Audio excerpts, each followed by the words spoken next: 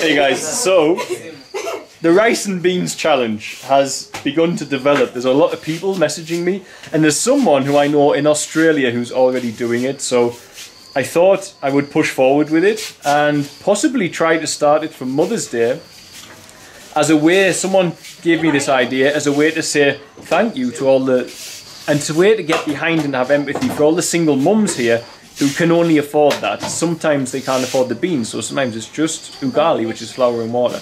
But all of the children are here who, not all of the children who live at Featherstale, but four of the children who live at Featherstale are here. This light's very bright.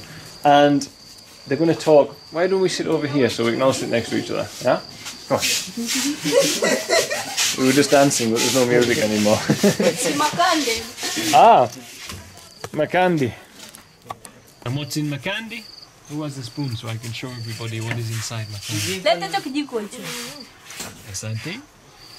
So, this is Makande. With beans. And Makande is basically beans and maize before maize has been turned into flour. Yeah. So it's like having rice or rice flour, basically. So this is what it is, and this is what the staff have been eating today.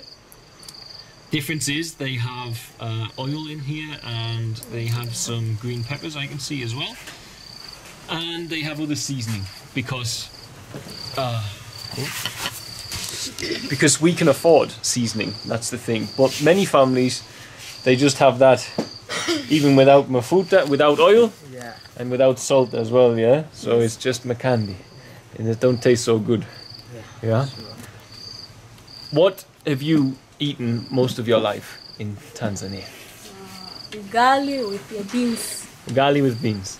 And what's ugali? It's maize flour Maize flour. mixed with water. Yes. Okay, and this is mostly your life, what you've eaten, Yes. yeah? Domi, Yes. for a long time, I know that you lived on just ugali, Yes. yeah? Yeah. How long were you eating just uga- ugali and salt, yes? Yeah, ugali and salt. How long were you eating ugali and salt? for? it's a lot of.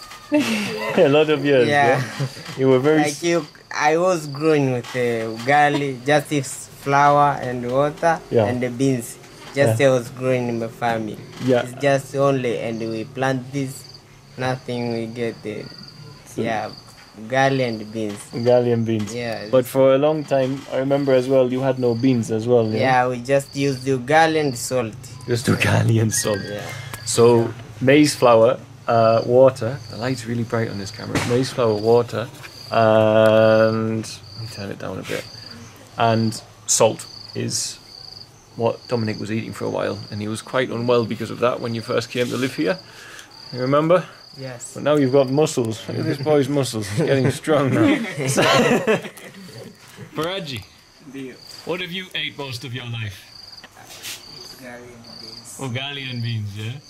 Do you like ugali and beans? Not really. No. I am busy, very, very busy at the moment. Dominic always backs me up on that. He always says that I have a big job because of him coming here to start with. but I feel like I'm spinning lots of plates, as it were, and I'm dropping them. So for the rice and beans challenge, I just want to get everyone going with it because we need the support. The children out in the community need it as well because the money will go towards the nutrition program and the food outreach uh, for the elderly uh, are included in there as well. So let's just get going with it. I'm going to open a fundraising page. Uh, there are people already doing it out there. So just set the challenge to yourselves and to others. Seven days eating just rice and beans. You can use a little bit of oil and salt, but some days don't. So you understand what it's like for the families who can't afford that. And I would also say that I was going to do an email group, but let's just use the comments section of this video just to save me having to spin another plate, sort of thing. And the comment section on the Facebook as well, and we'll do it from there. So, so everybody who's watching, guys, they're going to eat rice and beans for seven days, so they know what it's like here uh, to eat just that food. And then the money they save, they're going to donate it for all of the food deliveries we do in the community. You think it's a good idea? Yeah. Yeah. Yes. it's nice to get some better foods, yeah? Yeah, yeah. For sure. Okay. The So- like this. Or like, yeah, like potato, like this. Tonight they're eating potato. What did you have with your potato? Beans. Beans. Beans.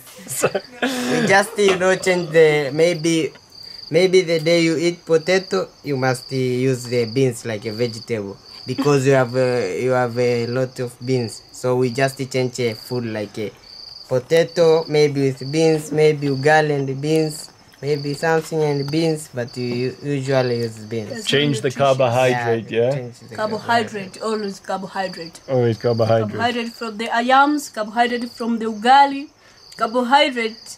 We get no rice, no rice, no rice. So- But lot of time we eat ugali with yams. Ugali, ugali with yams. And one mboga, I mean one vegetable, we share beans only. Yeah. yeah Just your beans this is only. how african life is And water, if you like to drink something, just like your water. yeah, it's just water. No soda, Yeah. no. no soda. Just water. when you are very poor you use sometimes uh, you know the salt you use uh, ugali with salt if your family is very poor you know Which is just Sometime- just flour and water mixed together, Yeah. cooked, and then you dip it in the salt, you yeah? dip it in the salt it's a tasty porridge. like it. And- yeah you know And you had a lot of nutritional deficiencies mm. because of eating that way, yeah? yeah, absolutely. Kwashiorkor, big, yeah big belly. yeah you get a big belly, stuff like this thin So- skin We get lots of our children who come new, they have the big Yeah. belly, don't they? Because they've only been eating those yeah things. it's- So yeah, it's not Yeah. easy. But here, thankfully, because of you guys supporting us, the guys can eat a varied diet. And what have you ate for your dinner today? You had today is potato beans and uh, Vegetable, vegetable kachumbari, local salad, local Local salad. cucumber, mm. carroti and chiche. yes So greens, carrots, cucumber, tomato, onion, And everything. the fruit. yeah And Don't fruits as well. And what did- Watermelon. they had watermelon, Watermelon. today. Oh, they had watermelon today. I got Is a that button too on my- Why is that doing that? Oh, there. So yeah, so these guys are lucky enough that they can eat better now. But they've started their lives eating that way, so they know what it's like. We've still got 600 and something kids out there, and the elderly that we're supporting. So they they need our support. You know, they need it. And nutritional support is a necessity. When you can't eat enough, or when you can't eat the right foods, I remember before this young man lived with me here. I remember when you had to leave school because you couldn't see the board. You remember this? Yeah. He had bad eyes. He was dizzy, basically. Because oh, hold on, I've zoomed in on. There we go. He was did. What's the dog doing? The dog's going crazy outside. He was dizzy because he couldn't see the board from uh, lack of nutrition and lack of calories as well. So he had to come home from school, even though he had a sponsor at the time. So. Yeah. Okay, so rice and beans challenge, guys. Let's just get going with it. Uh, start at your will, and I'd say let's say over the next few months, uh, we can all do it whenever we want to. If something gets in the way of it, then you can't do it. But I'd say let's all try to start. My goal is to try and start it by the first of April, but I know one group will be setting away on Mother's Day. So join whichever group you want, or start your own, whichever you prefer. Um, but let's get going with it, so everyone can see what it's like to live that way. Change your attachment to food and your relationship with food, and also at the same time help out with the support for the nutritional support we have because we do have a huge job here, and that's why I'm looking pretty tired uh, the last few videos because we've got a lot going on. And everyone's praying that the rain sticks around because last year we had no rain, so even the maize and beans were short because everyone's crops died. So while you're on, pray for some rain whilst you're eating it as well. So okay, God bless, guys, and goodbye from me. And Thank you for help us. thank you for helping. thank you And goodbye from Fred. and these two. Thank you. Okay. Bye, guys. God bless.